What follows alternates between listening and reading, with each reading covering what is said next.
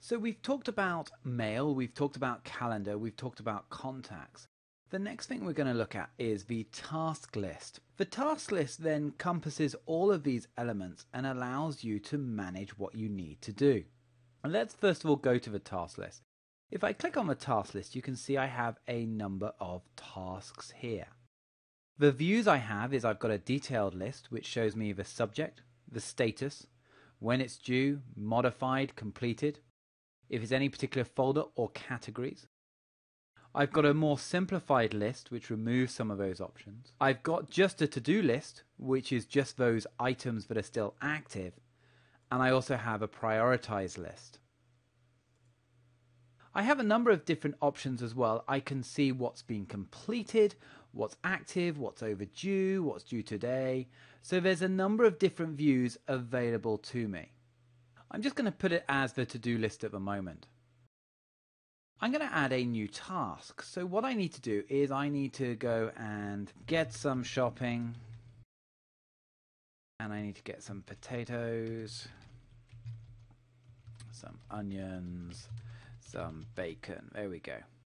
And when do I need to do it? So what I could say, well, I've got a party going on tomorrow, so what I need to do is I actually, it's due today.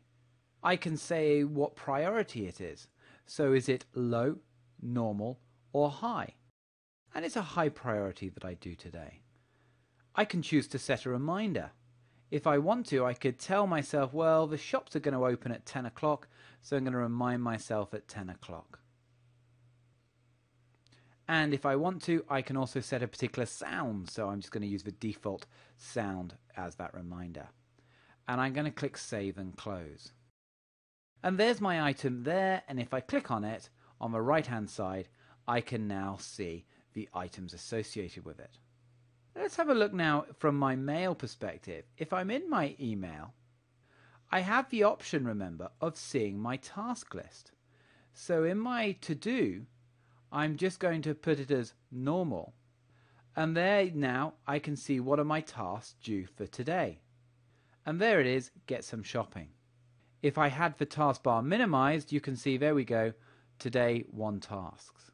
If perhaps one of these emails, so for example, I've got an email here from YouTube, I actually want to look at this. So I'm going to flag this as a low priority option. So I can just click on the flag there and then suddenly it's now been added to my task list.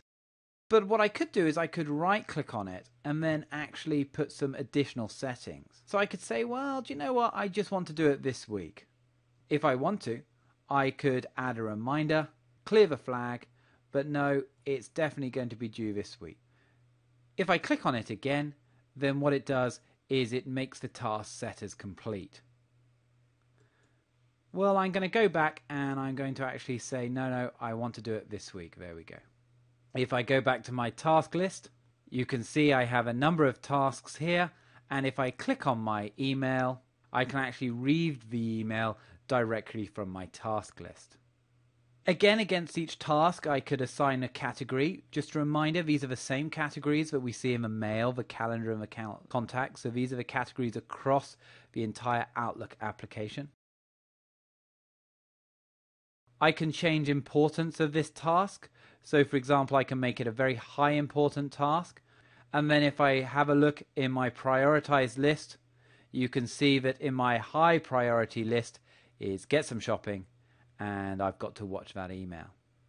So the task list is a very useful tool. It's not particularly complex, but the great thing about it is it allows you to use all the power of Outlook and every interaction which you might make with your mailbox you can then add items to your task list, you can clear it from your task list, but also you can come direct to your task list and you can manage them here too.